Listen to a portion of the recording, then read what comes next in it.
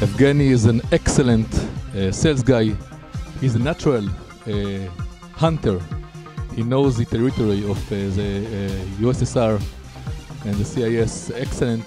Evgeny is uh, what we say, we have a say in Hebrew, uh, quiet water, go deep. So Evgeny is like this, he's really quiet, you don't see a lot of hush and hull and rings and bells. If you can think about one word to describe Evgeny, he's a bulldozer.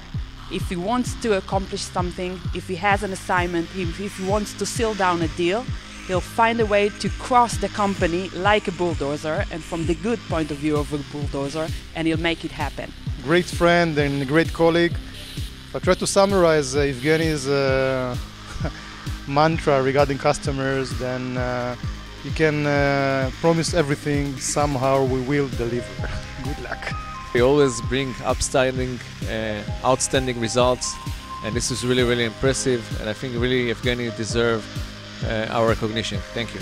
Thank you, Evgeny.